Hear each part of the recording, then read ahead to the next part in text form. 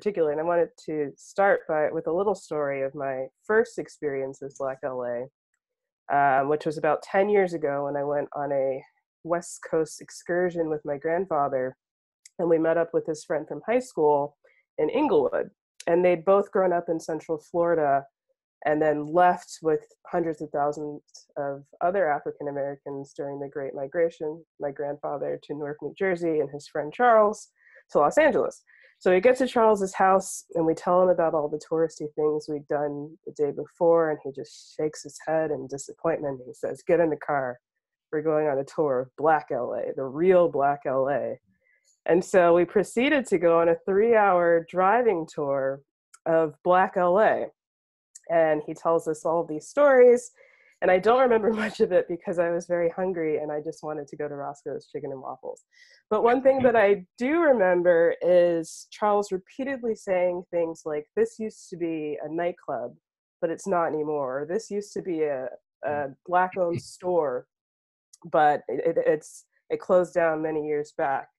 And so my first perception of Black LA during this experience uh, was shaped by his narrative of this kind of golden age of Black development and Black commerce and Black ownership, and then a subsequent decline.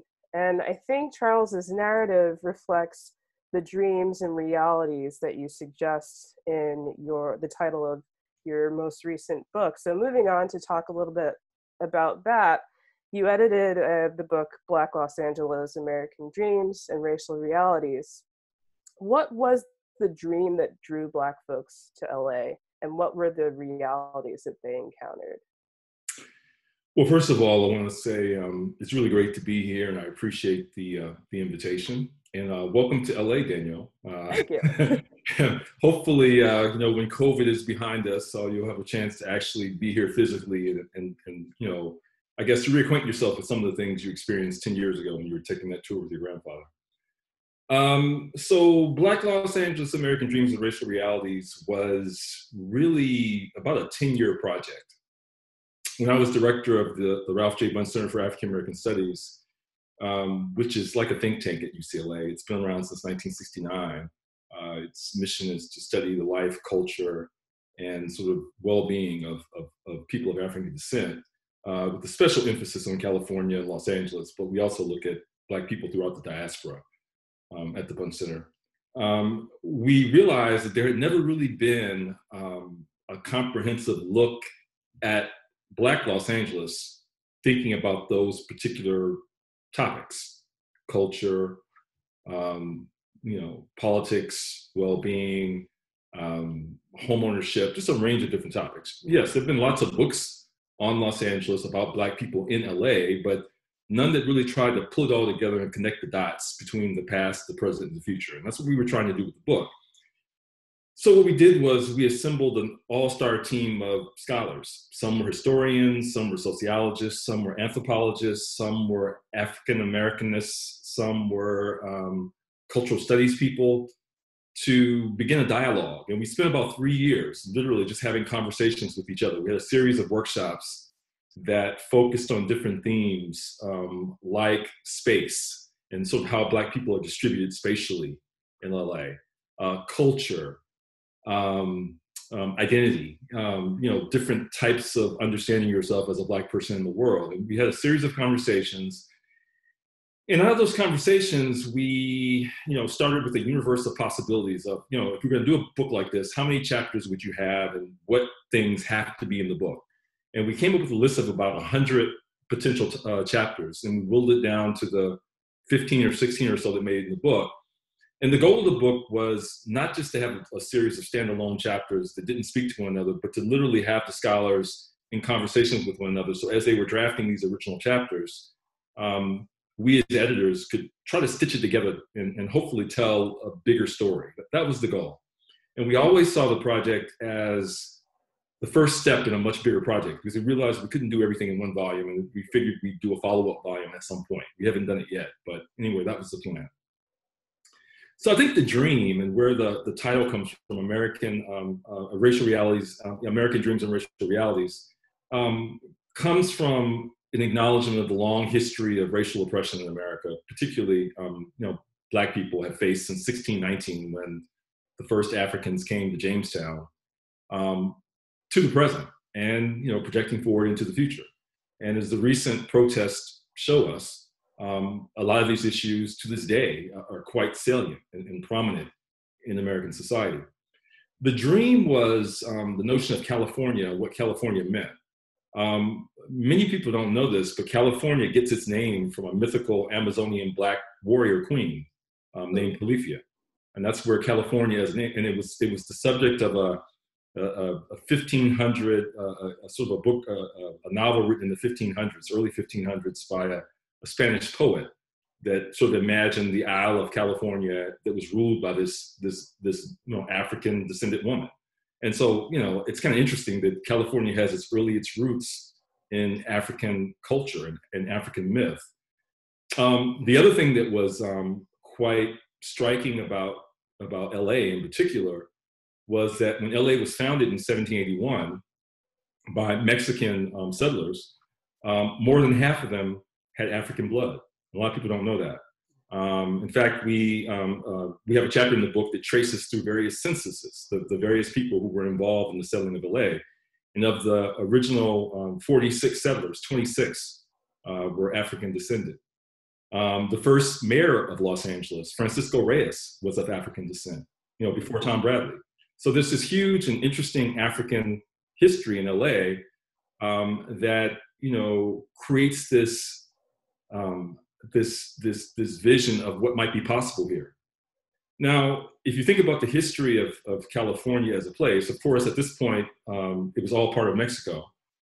And the Mexican American War, um, which I guess concluded in 1846, resulted in all this land being seized from Mexico and becoming a part of the United States, which included California, Texas, etc.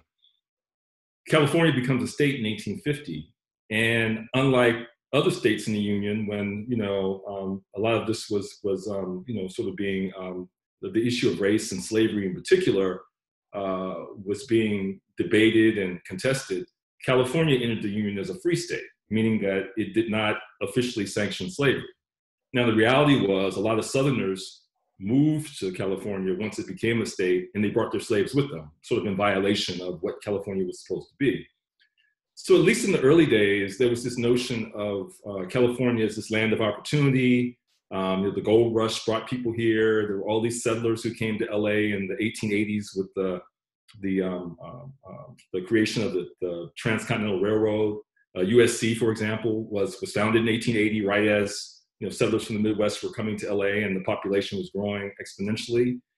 And it was kind of seen as this wide open place where you know, Jim Crow, which was, you know, um, you know, sort of certainly after the end of slavery in the in the late 1880s, uh, Jim Crow was was sort of, um, um, I, I, guess, coming into dominance and sort of determining the life chances of people of African descent and put in place to to keep back black people in their place.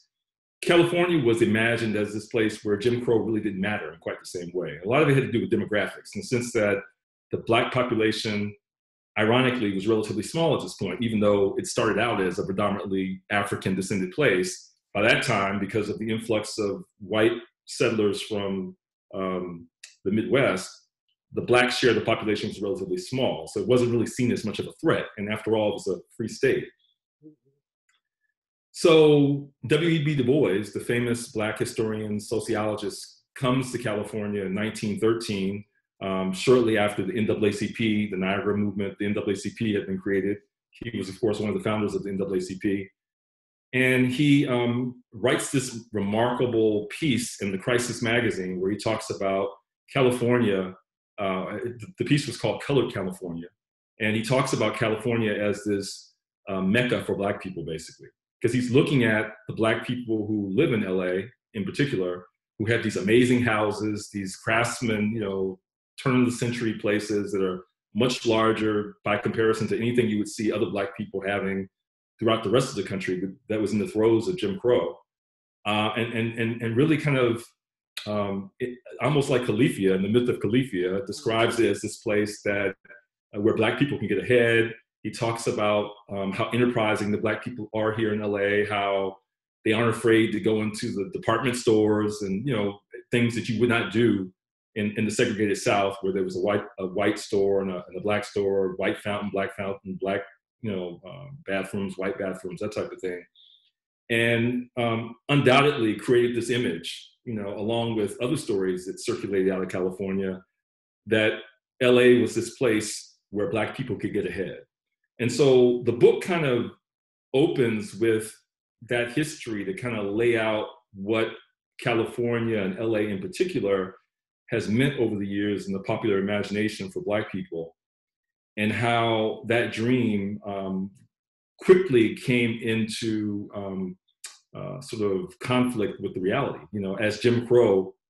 essentially follows Black people to LA. And, and Danielle, you mentioned the Great Migration, and, and, and there was a huge influx of Black people into LA in the 1930s, 40s, 50s. I mean, the Black population really explodes uh, to the point by the 1980s, um, LA County had the second largest black population in the country. And a lot of people didn't know this, um, about a million people.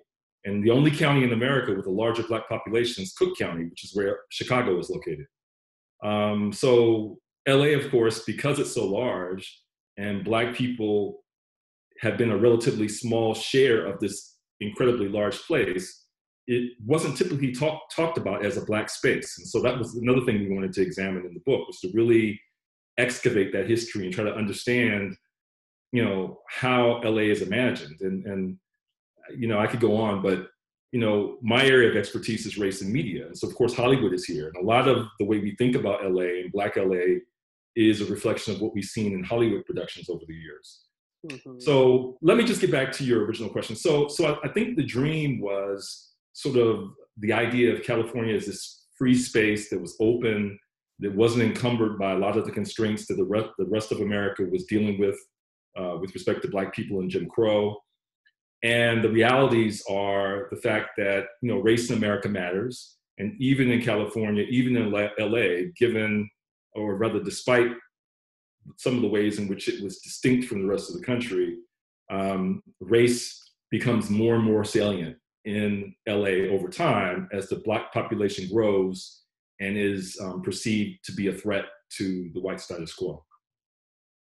Hmm, yeah, well, I learned a lot just from that response, um, and I also see a lot of a lot of similarities with the city I study, Atlanta, uh, particularly in kind of the the role of the a mythos, um, an idea of Atlanta at least being kind of a modern black mecca I had never really thought about Los Angeles as kind of a, uh, an older idea of a black mecca. Um, yeah. So that's really fascinating.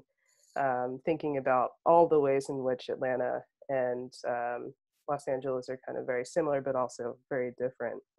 Um, but another thing I wanted to ask you about, um, what I think the LA riots of '92 have been on a lot of people's minds um, sure. recently.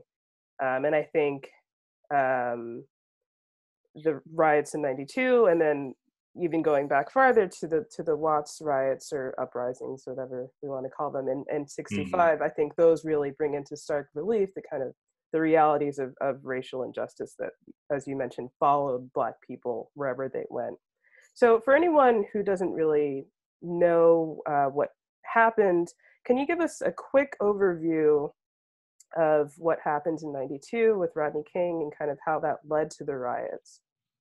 Sure, sure. Um, well, you really have to go back to, well, Watts and before. I mean, yeah. to, to, really put it in context. Um, I mean, even back to the Zoot Suit riots in the 1940s, you know, uh, where you had the targeting of Latinos and, and, and you know, African Americans um, who wore those zoot suits, and it was really an attempt to keep people in their place racially. Um, so again, as the LA population grew exponentially throughout the 20th century to the point where we're now the number two city in the country, only behind New York, um, the diversity of the city grew.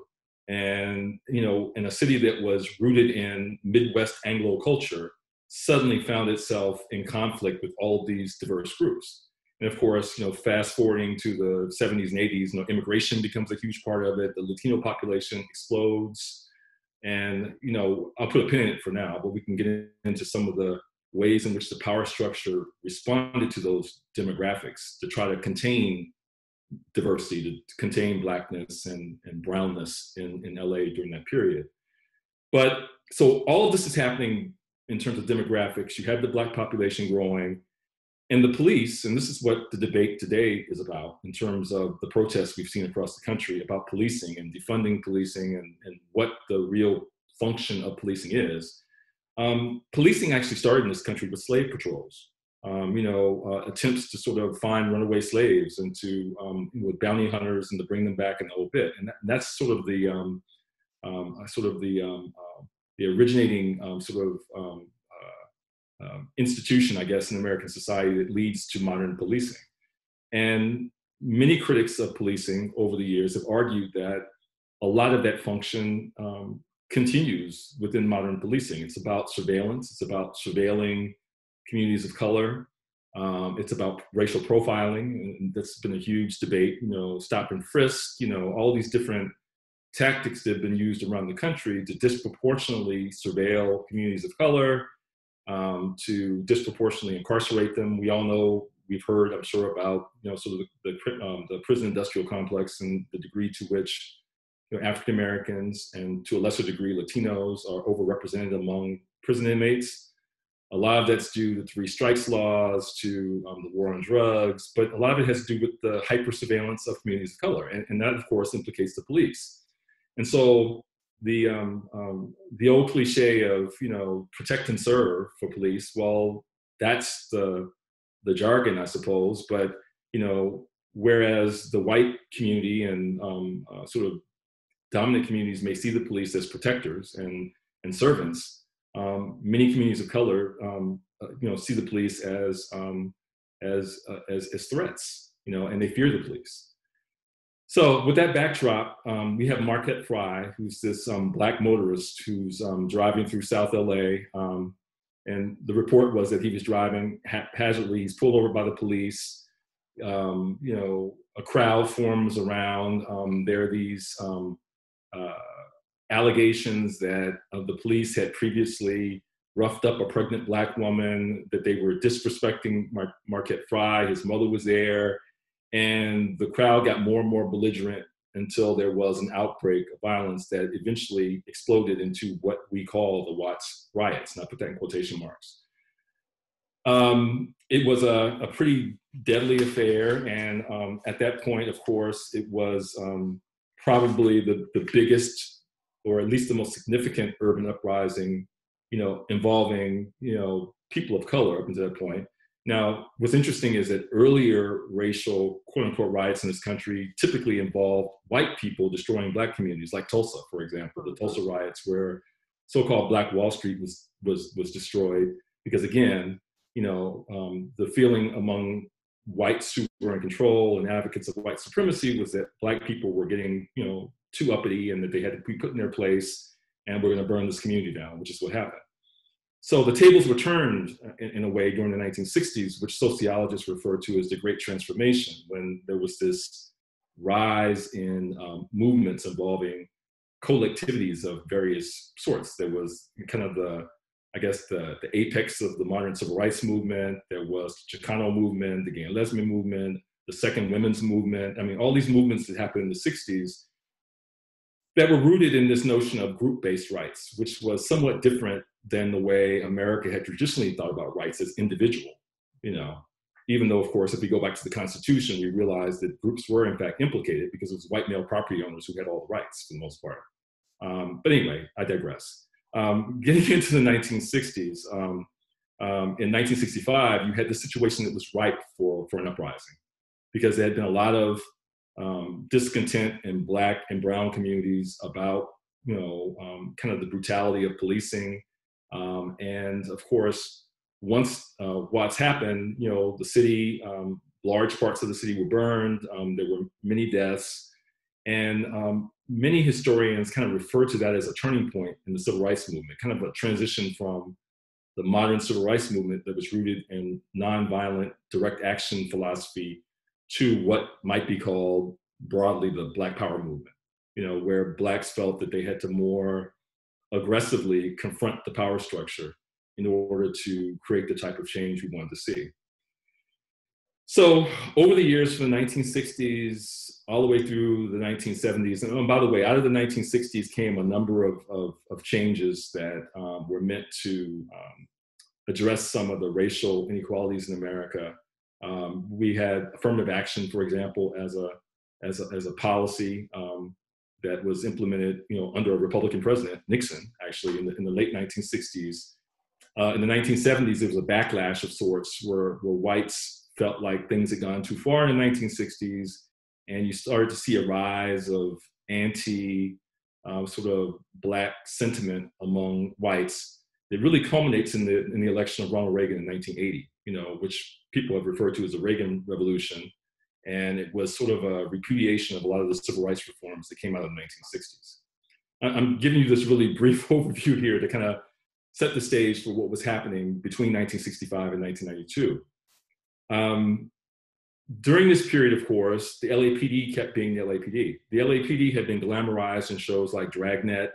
Um, it, it sort of um, embraced the notion of using paramilitary tactics in its policing. It sort of innovated the use of helicopters, you know, to surveil neighborhoods, the battering ram. There were all these different innovations, um, uh, military um, equipment that the LAPD used and introduced to modern policing, basically. And you had a series of police chiefs in LA who were notorious, and many of them um, uh, deemed to be racist. Um, uh, chief Parker, who Parker Center was named after, um, was quite notorious as a police chief. Uh, Daryl Gates, who was the police chief during 1992, uh, during the uprisings, was known to say things like, you know, as blacks were disproportionately dying um, in chokeholds when they were pulled over, he said things like, well, you know, the veins of, of black people don't open up like, quote, normal people. In other words, things like that. And so all of this was commonly said publicly in the open, you know. And so, needless to say, black communities um, were very distrustful of the police and fearful of the police. Um, so that sets the stage for 1991. It was March 3rd, 1991. Rodney King was um, driving down the highway um, in sort of um, uh, I forget the um, I forget the name of the, the, area, but it was sort of like northern LA County. Uh, California Highway Patrol and pulls them over. Um, two officers from Cal- California Highway Patrol. They radio it in. They're joined by several other officers from the LAPD and what started as a routine traffic stop becomes this brutal beating. I mean, he's he's beat 54 times uh, with baton blows. His skull is cracked. One of his eyes is nearly uh, put out. Um, he suffered permanent brain damage, um, and um, he was tasered multiple times. Um, and all of this was captured on videotape, and that's what was unique about it. Um, a guy just happened to be looking out of his apartment window, George Holliday, had a camcorder, and camcorder technology was relatively new in 1991. Um, and um, he recorded the whole thing from a distance. Uh, the video was shared with, um, I believe it was um, KTLA TV here in local news station, and it was hypermediated around the world. It immediately just went viral. You know, before we, we even talk about social media, it went everywhere. And anyone who's alive at that point saw that video at some point and saw it multiple times. And the assumption, of course, was that, wow, this was brutal. I mean, we had no idea that police would do this. This guy, you know, there's seven officers just beating this guy nearly to death, you know, and it went on for a long time. And surely they're going to be found guilty uh, of something. I can't believe this is happening. Meanwhile, people in the black community were saying, well, this happens all the time. We've been saying this for decades, uh, but we didn't have video proof. And it was our word against the police. And when this thing goes to a judge or if it goes to trial, of course the jury is going to believe the police because typically the jury is largely white. And remember white people see police as protecting and serving you know and black people of course see police as as, um, as fear and threat. So when it finally does go to trial um, they move the trial to simi valley which is a suburb of la in la county. They move it from downtown la where it probably would have been because according to prosecutors, there, well, not prosecutors, but to the defense, there was a concern that they couldn't get a fair jury because of the publicity around the case. And they wanted to move it someplace else where they felt they could get a fair trial. Well, of course, moving into Simi Valley, which was a large white suburban enclave um, of LA, um, where many police officers lived who actually worked in LA, um, they got a very sympathetic jury that you know tended to side with the police, and the jury was virtually all white. And after the defense attorneys were able to convince the jury that Rodney King was actually the aggressor, that it was Rodney King, they would stop the video and do it frame by frame and see he stood up there as opposed to just laying down. They eventually convinced the jury that it was Rodney King's fault, that the police were just doing what they should have done because some of them were fearful of what he might do to them. Because Rodney King was a pretty big guy.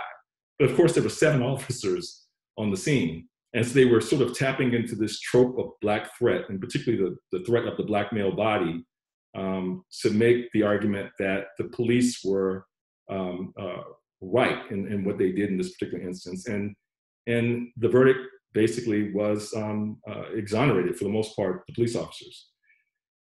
I was in LA when that happened. Um, I was a graduate student. I was actually working on my PhD or about to start working on my PhD and I knew that it was going to deal with race and media, but I didn't know exactly what the topic was going to be. But um, as time wore on, I saw that this was my topic, you know, because I had data from kind of before, during, and after to do some quasi experimental stuff on public opinion about um, about the, the uprisings. Um, when news of the verdicts um, came out that day, and I think it was about one o'clock in the afternoon, um, the flashpoint of events was um, supposedly Florence and Normandie, which is in South LA. Um, and you know, as time went on, there were video images of people going to Parker Center and protesting and pulling over police kiosks, flipping police cars, setting buildings on fire. And the um, the uprisings went on for for several evenings. Um, it was the costliest um, urban uprising to date in 1992 when it happened. I believe there were um, there were more than 50 deaths. Um, there were about 12,000 arrests um, many people of Latino um, heritage were rounded up, some of them um, um sort of um, sent to Mexico, even though some of them were citizens. I mean, there was a lot going on that, that um, complicated what happened during this event. But it, it really did sort of mark kind of the breakdown in legitimacy of sort of policing in LA, the criminal justice system, and um, was a, I guess, a reflection of the lack of trust and faith that um, Black and Brown communities, in particular, had in authorities in LA. Yeah, yeah, and you mentioned that like that one of the more notable things about that incident was that it was recorded and circulated widely. It went viral, and now we've kind of had decades of yeah. images of police assaulting or in many cases murdering black people go viral. Um, the most recent one being uh, the murder of, of george floyd. Do you think that we that this moment is a tipping point um, or is it just another iteration of what has been you know not decades of of highly visible Black death. Is there something distinct about this moment that might make it uh, so that it's not just a, another example? So, you know, I don't have a crystal ball, of course, but course. Um, I can look at patterns, and um, it's what sociologists do. We try to look at patterns and figure out, um, you know, what has happened, what the likely causes of what has happened are, and what does that portend for the future. And that's what we, in a nutshell, do. And one of the things that's quite obvious to me is that um, where California was in 1992, uh, the rest of America is right now. And you know, so in many ways, you can think of California as a racial bellwether for the rest of the country. Why? Because in you know with the possible exception of Hawaii, uh, California is the most diverse state in the union. Um, it doesn't have a racial minority, I mean majority. Um, uh, whites currently, um, I think, are about 36%, non-Hispanic whites about 36% of the California population, Hispanics about 39%, and blacks about, um, I think, about 6% um, of, of, the population here in the state. So it's incredibly diverse. Um, we were going through the throes of demographic transition in 1992. And I think 1992 and the things that happened immediately after 1992, and there were reforms that came out of 1992, just like people are advocating for reforms today coming out of the, the recent George Floyd protests. Um, the LAPD was essentially dis- well, wasn't dismantled, but it was overhauled. Uh, Daryl Gates was kicked out as police chief. They brought in um, the LAPD's first black police chief, uh, Willie Williams, from I think he came from Philadelphia. Um, they tried to implement community policing. Um, they raised the profile of the of the, um, the, the, the, police oversight board. Um, they um, it became part of uh, sort of a Justice Department investigation where they looked at the pattern and practice of activity within the LAPD. And out of that, um, lots of long-standing policies were changed. And the LAPD is far from perfect, as Black Lives Matter movement would, would argue. Um, but it, I would argue, it's light years ahead of where it was in 1992. And in fact, public opinion suggests that there's a lot more faith in the LAPD today, even in Black and Brown communities, than there was in 1992. Now, again, that said, there's a lot of work that needs to be done. You know, mm-hmm. far from, you know, sort of resolve the problems. So, the I guess good news story of California and the fact that we've, in many ways, learned to more or less get along in a very, very diverse state. The rest of America is dealing with that right now because demographically, the same things that happened to California in the 1990s are now happening to the rest of the country. I mean, currently, people of color make up about 40% of the US population. And that share is growing by about a half a percent per year to the point by 2040 or 2043, the US is going to be a majority minority country. And that's what all the racial strife in America is about right now. It's about white supremacy trying to hold on in a country that's changing demographically. This is why an effort is constantly being made to pack the courts with young judges who will be around for 30 or 40 years to um, implement policies and to make judgments that protect white supremacy and, and certain types of structural racism. This is why um, certain appeals can be made to the electorate that seem almost unimaginable in 2020, but people are reluctant to give up their privilege and they're very susceptible to fear mongering and to the idea that these people of color are threats.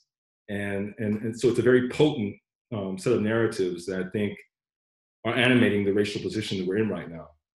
So I think that um, if California is any um, indication that there will be reforms, there will be meaningful reforms that come out of the George Floyd protests, but it's not going to change things overnight. Uh, in California, you know, in 1992, um, you know, after the uprisings, as I said, there were a number of reforms made to the LAPD that ultimately, in the three decades since, have made LA, I think, a better place. but shortly after that, there was a backlash. Mm-hmm. In 1996, um, California voters went to the polls. Uh, I should say white voters, for the most part, went to the polls and um, enacted California Proposition 209, which did away with affirmative action in the state of California. And again, it was an attempt to um, hold people of color at bay and to preserve white privilege in certain types of institutions. And, and Prop 209 applied to, to public institutions.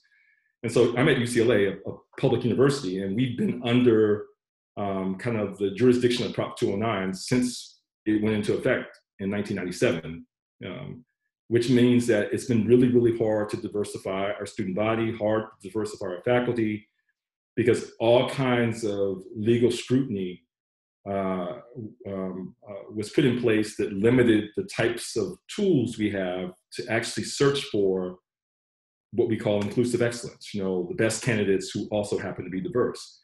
It becomes really, really hard under the weight of Prop 209. Um, from my view, um, the good news is it looks like Prop 209 is going to be on the ballot in November. And de- demographically, I think we're in a position now um, to, to reverse it because California has moved far beyond where it was in 1996. So I say all that to say I think something similar will happen in America. I mean, I think the presidential election this fall is going to be a referendum on not just the current president, but on um, George Floyd and the protests and all these things, because in many ways they're all interconnected. COVID 19, uh, which has a racial impact, it disproportionately affects, um, you know, African Americans and Latinos. Um, in LA, actually, Latinos more than African Americans. Um, because of structural racism, um, the fact that African Americans and Latinos tend to be relegated in so called essential jobs that put them on the front line at risk of infection. Whereas people who have white collar jobs who can work from home and do Zoom meetings like we're doing today can protect themselves. Or they have better health care than, you know, if they do get infected, they're more likely to survive because they have better health care.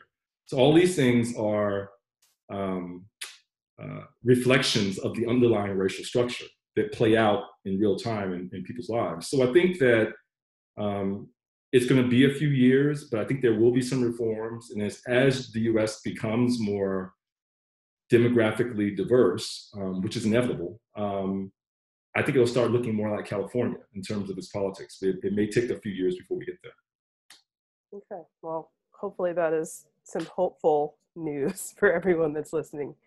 Um, I want to ask just one more question before I open it up to folks in the audience um, and kind of shifting to your research on uh, media and diversity. There's been a lot of discussions about diversity in media, particularly in film and television, kind of both in front of and behind the camera, and specifically about the need for more um, representation. Why do you think representation matters? Well, you know, how much time do we have? Um, In five minutes. So, um, so one of my one of my intellectual mentors is the great Stuart Hall, um, sociologist um, out of the UK. Um, he was one of the founders of cultural studies, British cultural studies, which is a an approach that um, attempted to sort of meld the work of the social sciences, particularly anthropology and sociology, with critical work coming out of the humanities. Um, um, um, all focused on media, media studies, and the role that media play in popular culture and how that relates to politics, be it class politics, which are really significant in the UK, but also racial politics and gender politics. Um, and so um, a lot of that similar work that came out of the late 1960s into the 1970s greatly influenced the way um, I think about the work I do with respect to race and media. And so my dissertation um, on the LA uprisings became my first book. Um, that was actually published in the UK. It was Cambridge University Press that published it, and, and I kind of um, got some great feedback from some of those original, you know, Brit- uh, British cultural studies folks who were helping me kind of think through um, the methodology that I use in the work I do. So representation matters because representation is um, essentially what we're talking about is those irresistible taken for granted images that we that are, that are so commonplace in our experience that we don't critically examine them. We just sort of um, see them as a window onto the world. So I'm thinking about things like man, woman, black, white. These terms immediately conjure in our minds certain images, and they tend to be standardized within a culture. And um, there's some variations, but more or less standardized within a culture and associated with those images are what Stuart Hall has referred to as chains of equivalence. Um, so just to kind of give you an example, um, if you think of the term black, you may conjure up an image of what you think of as a prototypical black person.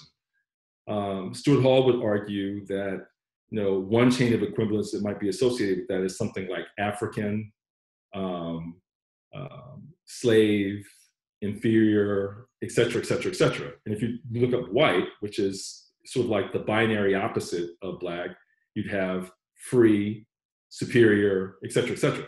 So the basic idea that that Stuart Hall argues that I think goes to the core of why representation matters is that meaning is relational. It doesn't exist in a vacuum. The way we understand the meaning of something is always in relation to something else, which is why you know the binary opposites of white and black are so powerful within the racial space.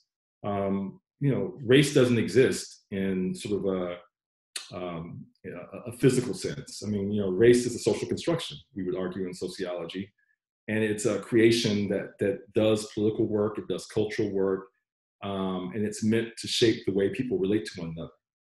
So we have something that Stuart Hall and his colleagues refer to as the circuit of culture, where you have representation at the very top, and then you have a series of other concepts like identity, uh, production, consumption, and regulation that are all cultural processes that are influenced and shaped by representation, by those images. And more importantly, all of the things like identity, who we are, who we aren't, who we hope to be, um, are also influenced by things like regulation. You know how the boundaries are drawn between different racial groups or gender groups. Um, you know this whole debate over LGBTQ status, for example, and, and sort of trans status. You know if if your if your representation is a man woman and nothing else can exist, then that's going to affect the way you think about the notion of trans and so forth and so on. And all these things are bound up in representations and these images that are a part of our culture that have the potential to change over time, you know, through those other moments in the circuit, like regula- regulation, identity, production, what the society literally produces, and here Hollywood is implicated, what it's producing in terms of those stories and images, and what we consume, consumption. You know, advertising plays a huge uh, role in this process. One of the reasons why advertising repeats the same advertisements over and over again is it's serving us certain representations that they're hoping we'll identify with, so we'll go out and purchase the item. So one of the things I talk about when I talk about Hollywood diversity is that it's more than just entertainment. Truly, yes, it is entertainment, it is entertaining, but it's also doing all this other cultural work beneath the surface uh, that's that's wound up in the representations. And sometimes, you know, if you have people who are committed to an anti-racist politics, they're being very intentional about what they're trying to do with representation. Other times, people are very uncritical and not at all reflexive and are just sort of trafficking in stereotypes and, and sort of things that they take for granted. And in the process, reproducing stereotypes in certain ways of seeing other groups that reproduce the status quo. And so, what we do when we study media is we try to unpack that process and what type of political work is being done. And one of the reasons we do the Hollywood Diversity Report at UCLA is we're trying to track over time how inclusive the industry is becoming and what that's likely to mean for the types of narratives that it would circulate. Okay. I have a, many more questions about that, but we, we should probably move on to some of the questions that have come in. Kathleen, would it be better if I read the questions or if I call on the person that asked the question for them? I think you can go ahead and just read them out. Okay. So we have a question from Alistair. Um, I don't, sorry, I don't know if you wanted to remain anonymous. It's not from Alistair. Uh, well, okay. Uh, these are good questions, so you should want your name to be attached to them. You, you have a number of questions, but I'm only going to ask the first one. Um, they say, I would be interested to hear your thoughts on how various police shows have shaped opinion on the police and racialized policing, especially if you have thoughts on recent shows like Live PD? Yeah, that's a good question. Um, so I did a study um, a couple of years ago for Color of Change, the advocacy group. I don't know if you're familiar with them or not, but they're very interested in the role that Hollywood plays in racial politics. And they asked me to do a study of writers' rooms in TV and um, how the dynamics of the writers' room um, impacts the types of stories that are told and they were particularly interested in um, the depiction of black communities uh, and the relationship between how black communities are depicted and the dynamics of writers' rooms. And one of the issues they, they foregrounded for me was this issue of the criminal justice system. And they wanted to look at crime procedurals, cop shows, to see what type of ideological work those shows might be doing. So the first thing we found was that um, black writers and writers of color in general are woefully underrepresented um, in writers' rooms overall, but they're even more underrepresented in crime procedurals. That is to say, when writers are sitting around the table, and they often sit around the table for 12 to 14 hours a day to kind of negotiate characters and stories and how those various episodes can be written, you almost never had a black voice at the table. So police were being presented in ways that didn't incorporate the types of Black experiences that we were talking about earlier that shaped the way Black communities in LA think about the LAPD, for example. So what you tend to get from cop shows, going back to Dragnet, that kind of glorified the LAPD as the, the pinnacle of policing, is um, the protect and serve model of policing, that the criminal justice system is basically legitimate, the criminals are bad, and the cops are good. Uh, which of course resonates with juries um, that are largely white who see the police as their protectors and their servants and are very loath to render verdicts that you know side with a victim of the police um, uh, over the police.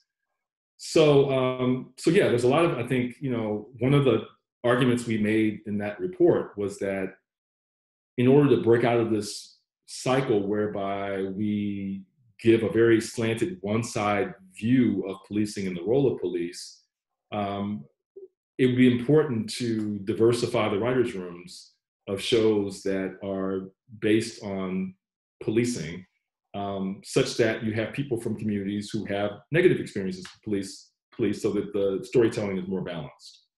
Mm-hmm. Interesting.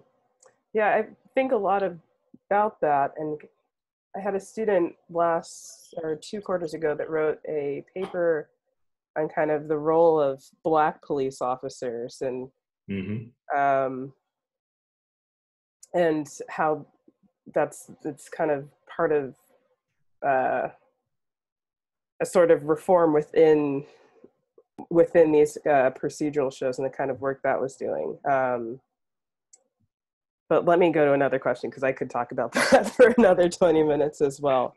Um, another question Do you see reforms to existing policing practices as a solution, or do you see complete dismantling and re- restructuring of the current system as the solution?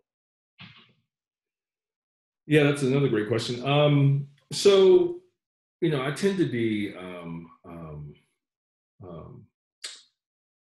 um I, believe in progressive change as opposed to revolutionary revolutionary change. I mean, I think if you look at history and the way that change occurs, I'm a Gramscian. Um, Antonio Gramsci, you know, the theorist, the Italian theorist, informs a lot of what I do. And in fact, he's one of the um, sort of the the fathers of theory, I guess, that informed um, British cultural studies, which is the the frame that I, I use in most of my work. And it does really argue for a more progressive sort of cycle of change that is connected with any number of different equilibria. You know, something happens, you have a crisis, there's a response. You don't throw out the entire system, you tend to change it in a major way so that you reach a new equilibrium, a new balance where you've, you know, moved a few steps ahead. Then you have another crisis, which could take you back a few steps. Then you have another crisis, maybe you move ahead a few more steps so that, you know, over a long period of time, you, you tend to see progress, usually, although it's no guarantee. And I think that model is more realistic in terms of, you know, thinking about what has happened over the years and how it's happened. So um, I don't think it's realistic that we'll see the police completely dismantled. Um, I think what will happen is any number of reforms um, and um, sort of defunding moves like you know LA Mayor Garcetti has proposed um, cutting, I believe, close to 200 million dollars from the LAPD budget and redirecting that money to um, community um, programs to sort of build up communities, because a lot of the of the so-called crime that that sort of warrants the move to put more and more money in policing is really the result of these underlying structural inequalities and the fact that people don't have ample employment, people don't have opportunities for schooling, um, for transportation, for recreation, all the things that create right circumstances for increases in crime. And so the argument is rather than treat the symptoms, i.e., the crime, by giving money to police, why not treat the underlying causes and put the money into programs that make it less likely that we'll have criminal activity?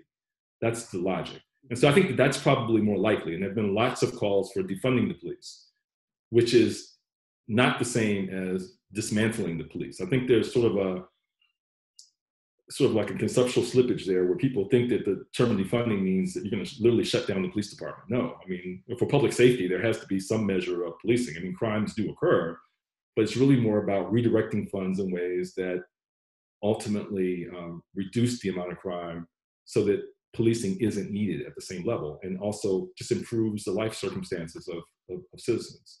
And so I think that that's likely to happen in places like LA and it's being debated in other places. Um, and we'll have to see, you know, how it plays out. in the same way that after 1992 there were reforms to the LAPD that ultimately made it a better organization, flawed but better than it was in 1992. Yeah, yeah. Yeah, I think it's, as you mentioned, it's important to kind of consider the local context of these shifts. And it seems like many of these reforms are going to be on, on a local level um, rather than a more national one. Which I yeah, I mean, you know, the federal government they can set certain guidelines about um, you know chokeholds and specific tactics, but policing is a local matter.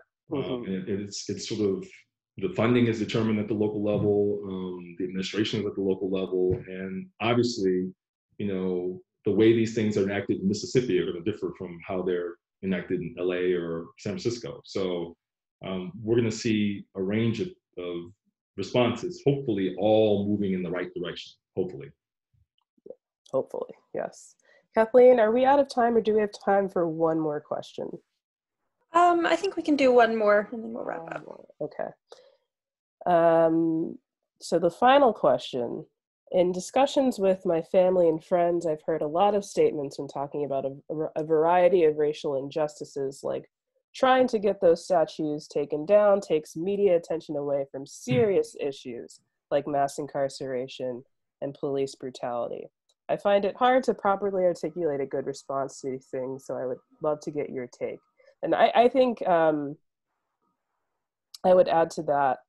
Um, well, I could let you just answer that question, but I, but I think there, one thing I'm curious about, and my my question about representation was kind of trying to get at was this distinction between serious issues like mass incarceration or or uh, police brutality versus issues that are seemingly less serious, whether it be representation in media or kind of whether or not these statues are come down or these buildings are renamed.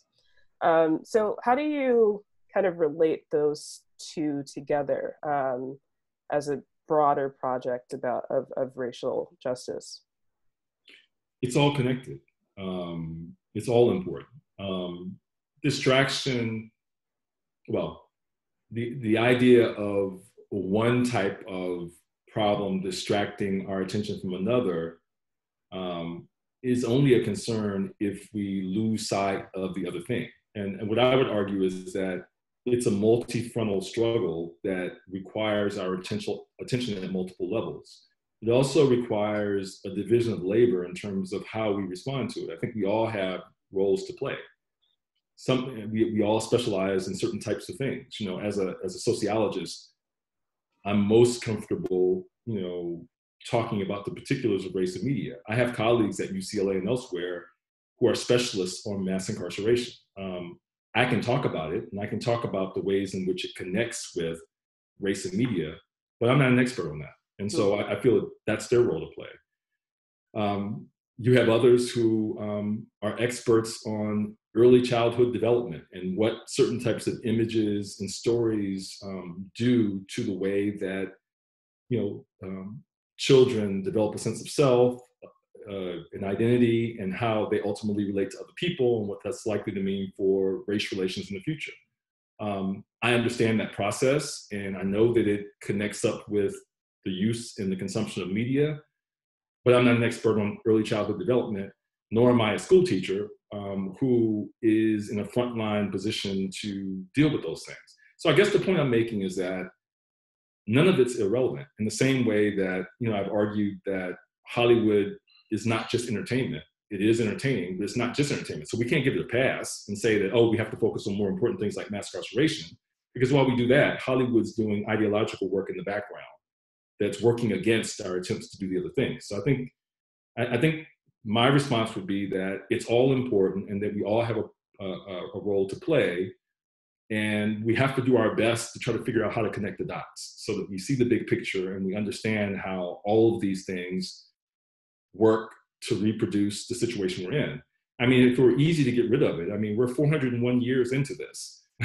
you know, we would have done it a long time ago. But it's hard because it is so complex. And you can't just think, oh, there's a silver bullet. I'm going to focus on this one thing. We're going to solve the problem. No, it doesn't work like that. Yeah. And I think that's a very empowering way to think about it as well. Because I think a lot of people at Caltech, for instance, kind of see or might see themselves as kind of very far removed from these issues and kind of struggle to figure out what their role is. But I think as long as you can figure out um, how how how your role kind of fits into this this bigger picture, you can kind of empower yourself to actually make changes from the position that you're in, whether you're a scientist or or yep. what have you no role is too small. I mean, you know, um, you know, scientists. I mean, this is debate we have at UCLA all the time. Um, you know, in the in the college at UCLA, we have five deans. Um, dean of social sciences, me. We all have our own divisions that we run. we have a dean of physical sciences, where we have physics and chemistry and all those those departments. Dean of life sciences, um, biology, et cetera, et cetera. We have a dean of humanities, and then we have a dean of undergraduate education that focuses on sort of like GE requirements, that type of thing. And all of us talk about the work we can do within our own respective spaces. Um, it's often more obvious in the social sciences because we study this type of stuff, but in the sciences, they're very concerned about mentoring, um, you know, scientists of color or, or, or would-be or prospective scientists of color, given what we all know about the statistics, there being so few. Well, why is that? Um, it's certainly nothing intrinsic in the people. It has to do more with the structure. So that suggests that you know as scientists as professors we all have a role to play to try to figure out how to grow that pipeline so that we have a society that's more reflective of you know who we are in in in every area. So so yeah i think i think we all have roles to play. The challenge is just figuring that out. I mean what is my individual role i can play if i'm really committed to to seeing a nation that lives up to its ideals? Exactly exactly. Well i think we are officially out of time